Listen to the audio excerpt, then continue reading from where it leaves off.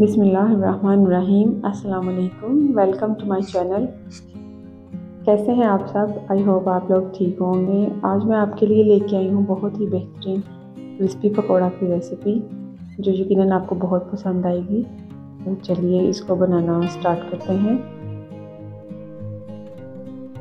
मैंने पाँच से छः मीडियम साइज़ के आलू ले लिए हैं और पीलर की हेल्प से मैं इनके छिलके उतार लूँगी। अच्छी तरह से छील के उनको साफ़ कर लेंगे। बहुत सी चीज़ें ऐसी होती हैं जो हमें देखने में बहुत आसान लग रही होती हैं और लेकिन बनने के बाद उनका टेस्ट और उनका टेक्सचर ऐसा नहीं आता जैसा हम लोग चाह रहे होते हैं। तो बहुत सी छोटी छोटी ऐसी टिप्स एंड ट्रिक्स होती हैं जिनको फॉलो करने से हमारी रेसिपी बहुत अच्छी और बहुत ज़बरदस्त बन जाती है। तो अगर आप भी इसी तरह से क्रिस्पी पकौड़ा बनाना चाहते हैं तो प्लीज़ मेरी रेसिपी का कोई भी पार्ट मिस मत कीजिएगा। आलू को छीलने के बाद अब हम इनके स्लाइस कर लेंगे। स्लाइस हमें बहुत ही बारीक करने हैं जैसे मैं आप, आपके सामने करने लगी हूँ। आप किसी छुरी की मदद से भी कर सकते हैं और अगर आपके पास कोई कटर है तो आप उसकी हेल्प से भी इसके स्लाइस कट कर सकते हैं। ये जैसे मैं आपको दिखा रही हूँ इस तरह से बारीक स्लाइस कट करिएगा। मैंने सारे स्लाइसेस कट कर लिए हैं। इनको अब हम किसी साफ़ पानी में डाल के दो से तीन दफ़ा अच्छी तरह वॉश कर लेंगे।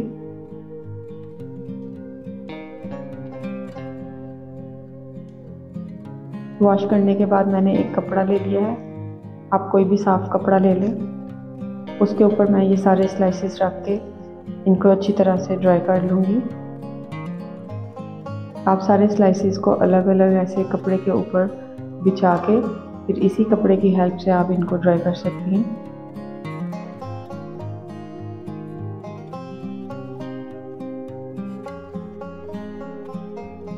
आप किचन टावल या टिशू की हेल्प से भी इनको ड्राई कर सकते हैं। मैं इसी कपड़े से इसको अच्छी तरह से ड्राई कर लूँगी।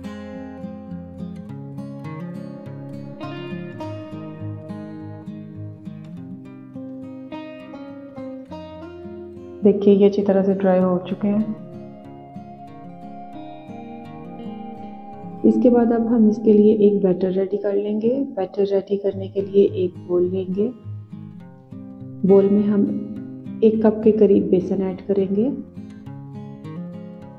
बेसन को आप किसी भी छलनी से छान के इस्तेमाल करें। इसके छानने से क्या होता है कि इसमें कोई भी लम्स नहीं बनता और इसका बैटर बहुत ही स्मूथ रेडी होता है।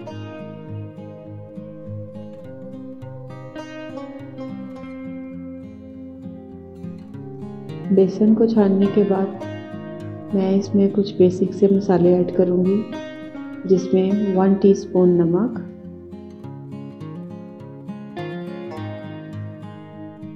वन हाफ़ टी स्पून सुरख मिर्चें, और हाफ़ टी स्पून ही मैं इसमें कुटी हुई मिर्चें इस्तेमाल कर रही हूँ। हम स्पाइसेस थोड़ा कम यूज़ करते हैं, इसलिए मैं स्पाइसेस थोड़ा कम ही रख रही हूँ। आप अपने हिसाब से कम या ज़्यादा कर सकते हैं। वन टेबल स्पून इसमें हम सूखी मेथी डालेंगे। इससे इसका बहुत ही अच्छा टेस्ट आता है, इसको स्किप मत कीजिएगा। ये बहुत अच्छा टेस्ट देती है। वन पिंच के करीब हम इसमें हल्दी पाउडर इस्तेमाल करेंगे।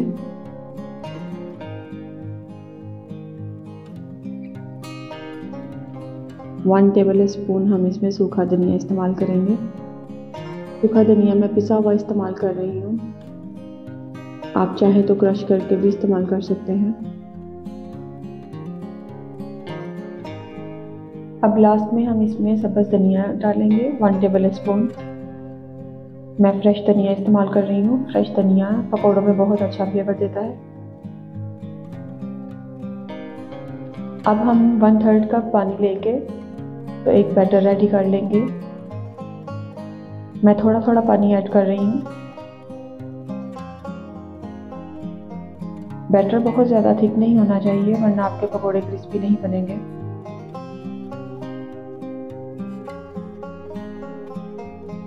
और अगर बहुत ज़्यादा थिन बैटर हो गया तो वो पकौड़ों पे कोट नहीं होगा। आपको इसको बहुत ज़्यादा थिन भी नहीं करना और बहुत ज़्यादा थिक नहीं करना। मैं अभी आपको इसकी कंसिस्टेंसी चेक करवाती हूँ कि ये किस तरह का होना चाहिए।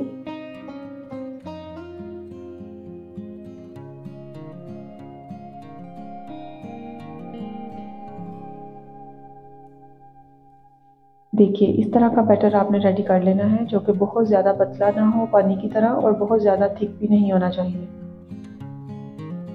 आयल को मैंने हाई फ्लेम पे बहुत ज़्यादा गर्म कर लिया है। पकौड़े फ्राई करने के लिए आयल को पहले बहुत ज़्यादा हाई फ्लेम पे गर्म कर लेना चाहिए और उसके बाद इसकी फ्लेम को लो कर देना चाहिए। लो फ्लेम पे अब हम अपने पकौड़े फ्राई करेंगे। क्योंकि ऑयल को हम पहले से बहुत ज़्यादा गर्म कर चुके हैं, इसलिए इसको हाई फ्लेम पे हम फ्राई नहीं करेंगे। अगर फ्राई करेंगे तो ये अंदर से कच्चे रह जाएँगे और बाहर से जल जाएँगे। तो आप जब भी पकौड़े फ्राई करें, सबसे पहले ऑयल को बहुत ज़्यादा हाई फ्लेम पे आप गर्म कर लें और उसके बाद जब आप पकौड़े फ्राई करने लगें तो इसको हल्का कर दें। बहुत ज़्यादा लो नहीं करना मीडियम फ्लेम पे आप पकौड़े फ्राई करें। तरह से हम एक एक आलू को लेके उस पर बेसन कोट करके ऑयल में डालते जाएँगे और इसको फ्राई करते जाएँगे।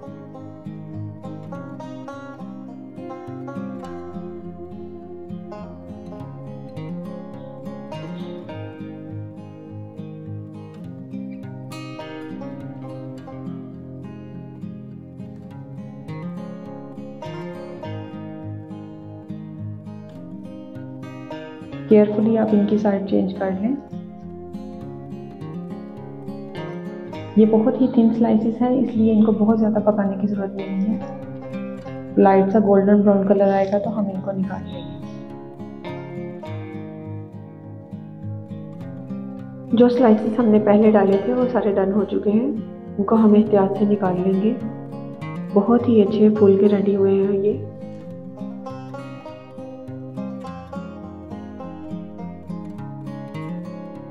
इसी तरह से हम अपने बाकी के सारे स्लाइसेस डाल देंगे और इनको रेडी कर लेंगे।